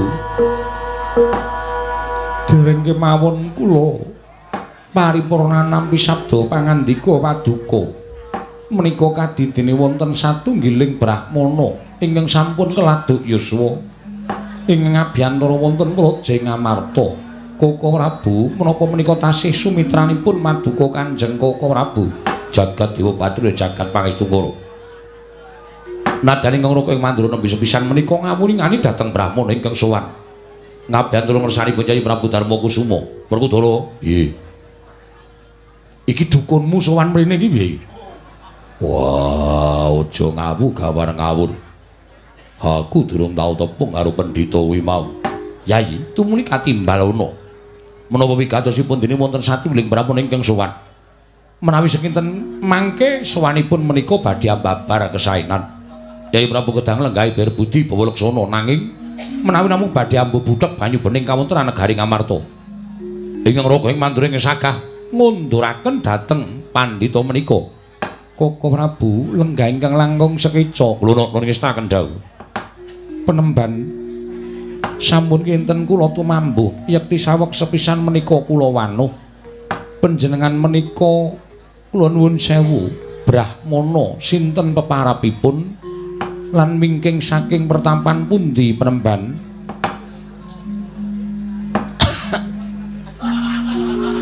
Oh, ngilaheng. Nawi kena mastu namat sidam. Kula nuwun pangapunten sinuwun. Menawi paduka dangu kalian kula. Kula menika Brahmana wingking saking bumi belah. Wonten ingkang sudi mestani dhateng kula. Kula menika pun begawan wantrika sinuwun. Begawan Wantrika inggih. Wingking saking pertapan bumi belah. Kasinggihan mekaten sinuwun. Menapa leres kula menika sowan ngersanipun sinuwun Prabu? Untadewa inggih boten wonten kalih kula ingkang dados nalindra ing Amarta pun Puntadewa penemban oh alah syukur sesuk nek arep lunga watuke tambah dhisik niki mau merga ngombe es campur. Teng mergi mila lajeng watuk kula menika kumat kumat nggih Begawan Mantrika inggih panjenengan sinten? Aku nalindra mandura Prabu Baladewa. Oh inggih. Dipun tepangaken kula pun Wantika iya iya Wantrika Wantrika penemban. Wonten dawuh sinuwun. Ana wigati apa sarta menapa ing dados sedyanipun jengandika penemban rawuh wonten negari Ngamarta? Menika ngaten nggih sinuwun kula menika kula nuwun sewu. Satunggiling brahmana ingkang sampun keladuk yuswa. Ning nuwun sewu engga umur kula ingkang sampun wolung dasa enem menika kula menika dereng sesandingan kan setunggiling wanita Mangka kula menika kepengin sanget gadahi turun sumados pinardawa kamulyanipun anak putu kula benjang. Tumunten kula nglampahi tapa kula nglampahi priatos. Inggih. Wonten ing madyaning alam pasumpenan nalika kula lampah priatos. Kula menika nampi dawuhing dewa. Wantrika kowe bakal entuk turun sarta bakal pinardawa kamulyanmu. Kamulyaning turun-turunmu besok bakal ngasembatan. Waton kowe mengku sewijining wanita. Wondene wanita menika kala wau dawuhipun dewa menika mijil saking negari Ngamarta. Metu saka negara Ngamarta. Inggih sinuwun lajeng sinten penemban miturut dawuhing dewa ingkang sampun kula tampi wanodya ingkang badhe kula wengku garwa menika kula nuwun sewu. Naminipun Dewi Waradrupati sinuwun.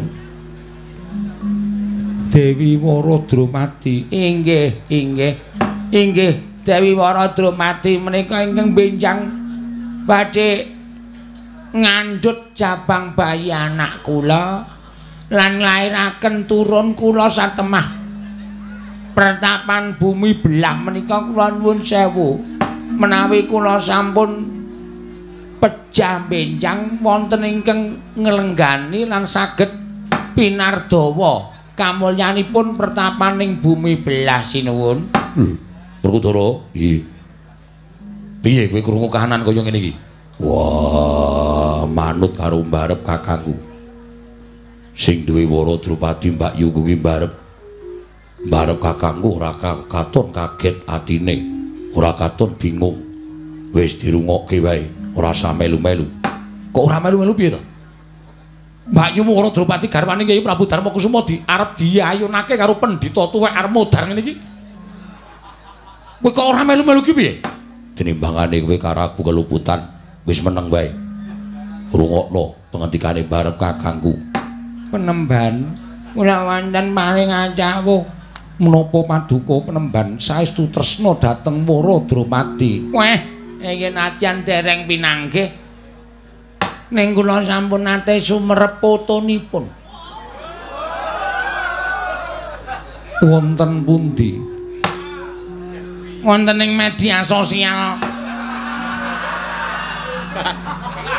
Kula niku arep kula niku pun tuwa, kula niku iso dolanan YouTube. YouTube menika sok kula nggih dolanan.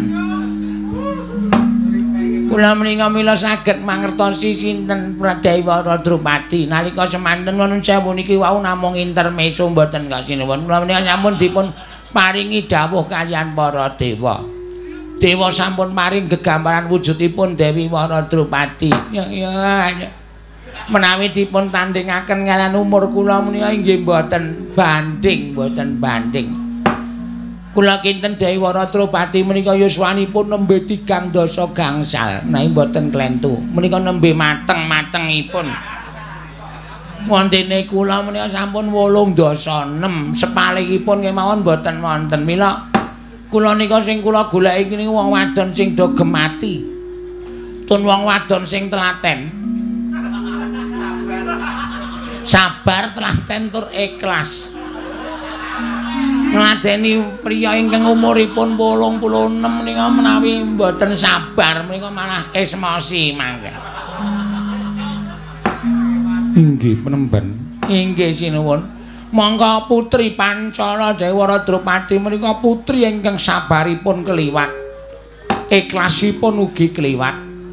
Mila menawi mangke menika sesandingan kalian kula, piyambakipun tertentu mboten kesesa anggenipun ngladeni kalian kula.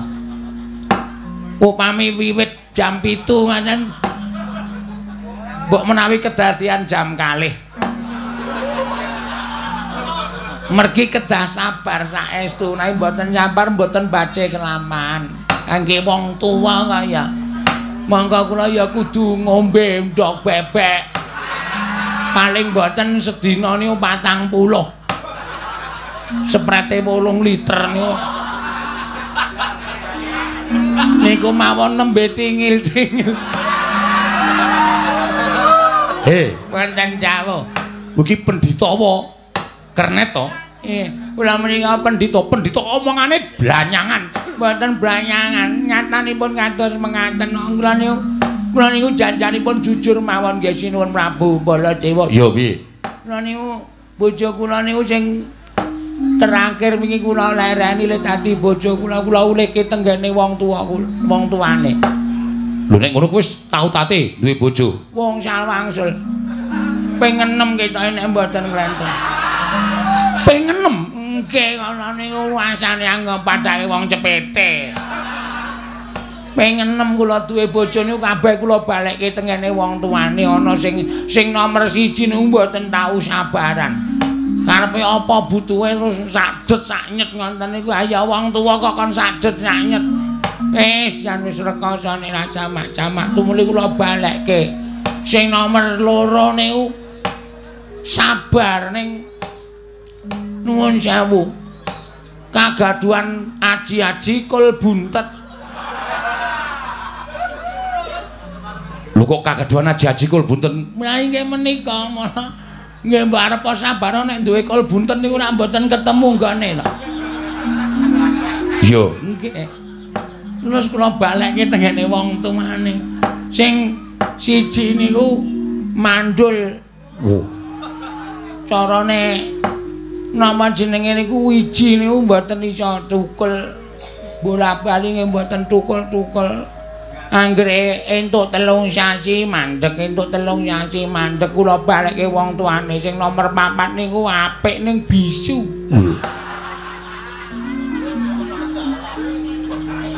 Dadi kula bingung le komunikasi ming am-um am-um am-um. Kowe lah malah Werkudara apa? Kowe kalah lho kalah ya men. Kowe ming telu, ya to? Kowe ming naga kene Arimbi urang ayu iki nganti 6 lho pendhita tuwek arep modal kok golek bojone.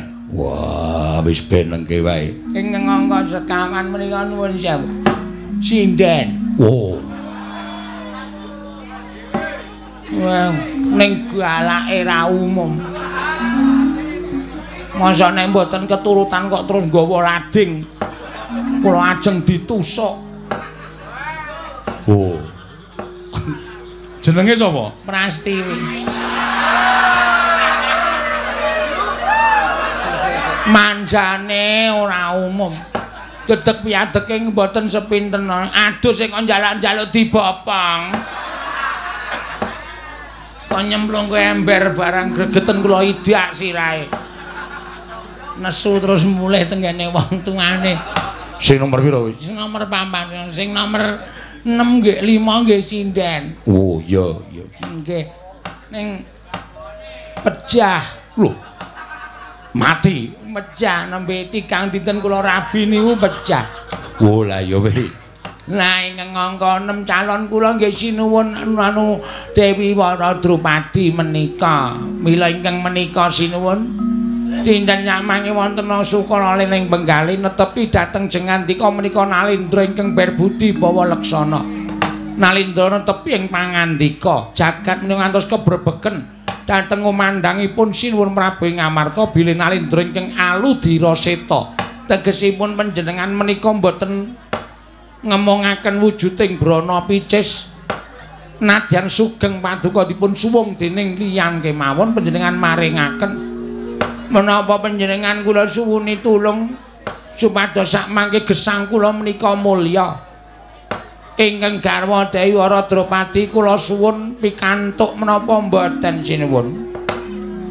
Begawan mantrika. wonten timbalan ing ada apa? Yen to pancen penemban wantrika tresna kelawan atma kelawan garwaku Wara Drupadi dina samengko aku ora bakal lowol sarta anggrundel Wara Drupadi boyongen. Dimen penemban darbi turun saka garwaku Wara Drupadi penemban menika saestu? Iya lahir batin. Ah alah Dimas wis samapta ing gati sawega ing diringgonku. Nganggo jaya kawijayan ngaji guna kasantikan jebul sinuwun ngamarta menika netepi dhateng pangendikanipun para ingkang sami sampun mangertos dhateng panjenengan. Nalindra ingkang lahir batos lila legawa donya dumugi ning akhir menika namung paduka Gusti kula ingkang sinuwun Prabu Puntadewa. Baladewa kakakku Werkudara piye rungokno. Percaya apa ora? Wah diwas kowe karo aku mbelani. Mepalangi karepe begawan wantrika aja nganti kelakon boyong wara drupadi nek sing duwe menehke kowe arep apa? Ora ya wis. Wong nyatane Yai Prabu Darma Kusuma wis maringake garwane wara drupadi diboyong dening begawan wantrika ning apa iki ora? Elek kedadiane. Ing atase Nalindra nyanding Prameswari. Monggo Prameswari ne dibutuhake dening ya kuwi Begawan Wantrika tumuli diparingake. Iki mengko ala pocapane Werkudara. Penemban mung kang sangka kuwi. Yen to penemban wis nampa pangandikaning ingsun sabubaring masewakan jeneng ingsun nedya tumuli manggi kelawan sira penemban lan ngaturake garwaku ora Drupadi penemban. Pandhita kang kinarya wangsit pindha kumbang ngajaping tawang susu angin susu angin ngendi nggone. Oh bombong raos sing manahipun ingkang abdi pun wantrika sinuwun. Menawi tetena mekaten tumunten kula nyuwun pamit madal paselan kula tenggo alun-alun menawi mangke sak bibaripun masewakan Gusti kula kula antu-antu rawuhipun sinambi kalan nganti ingkang garwapun Wara Drupadi. Badhe kula boyong wonten ing pertapan panggenan kula sinuwun surti ting ati-ati duga-duga digawa penemban pantrika. Memesaken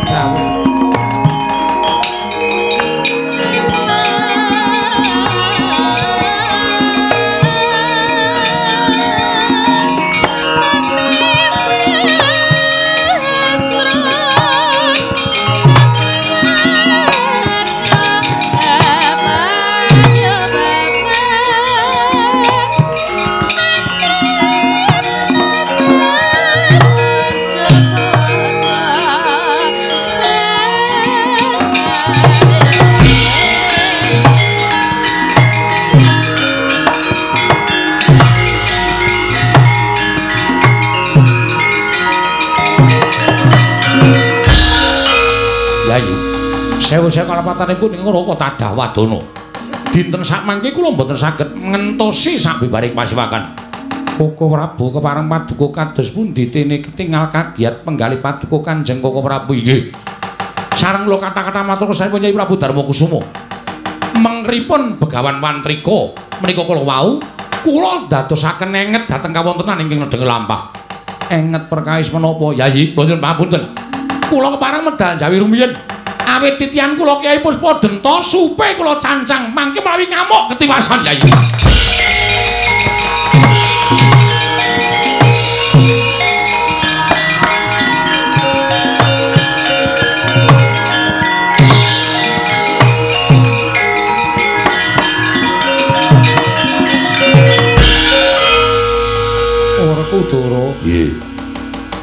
Teka Dimas uga maju nggone ngabyantara eneng apa?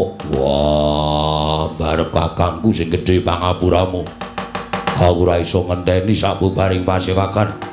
Sebabe apa Dimas? Aku mau sowan ning negara Ngamarta nggawa gada rujak polo lali durung tak sendhekke aku njaluk kamu.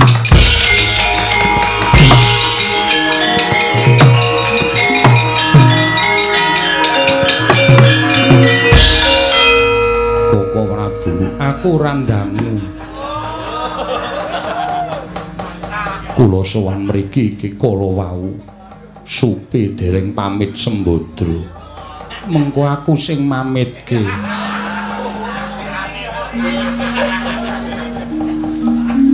Dereng pamit karen Sri Kandi mengko aku sing mamitke Boko Prabu apa dianggep aku ora ngerti Dimas iki mau mung dadi pawadan. Koko Prabu Mandura lan Werkudara ing padha sarembuk nggone ora padha narimakake yen to garwaku Yayi Waradrupadi ndak paringake marang Begawan Wantrika. Apa dikira aku ora ngerti. Mula Janaka kowe ora usah melu-melu. Yen to siadi isih tresna kalawan pun Kakang aja nganti tetel kanalindraning nata ing amarta Prabu Darma Kusuma. Awit aku nglincati marang wewatekaning nata ngamarta. Janaka ulunten paring adaw. Dina samengko malah kowe tak kongkon yen bisa penggaken Koko Prabu Mandura lan kadangmu ya kadangmu tuwa ing Jodipati Werkudara. Aja pisan-pisan wani nyempalani pandhita Begawan Wantrika. gedene balekake Begawan Wantrika. Yen to kateman kaya mengkono tegese adi-adiku ora bisa ngreksa marang kalindraning nata ing amarta Prabu Darma Kusuma. Nah ingaten terwaca dawuh paduka. Bareng nyuwun pamit madal pasilan. Penggaan kamurkaning Koko Prabu Baladewa sartaning kadang Munjadipati kira-kira Dimas Arjuna wani apa ora wantun.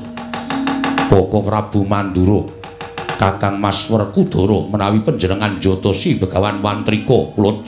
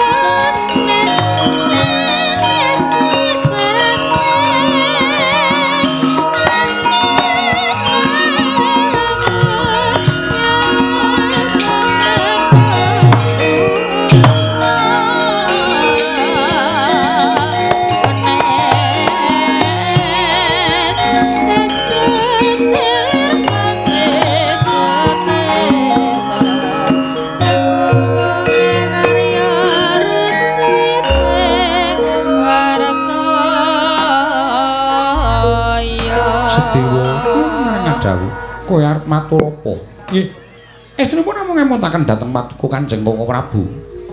Menawi badhe paduka tindakaken menika kala wau, mboten sae Koko Prabu.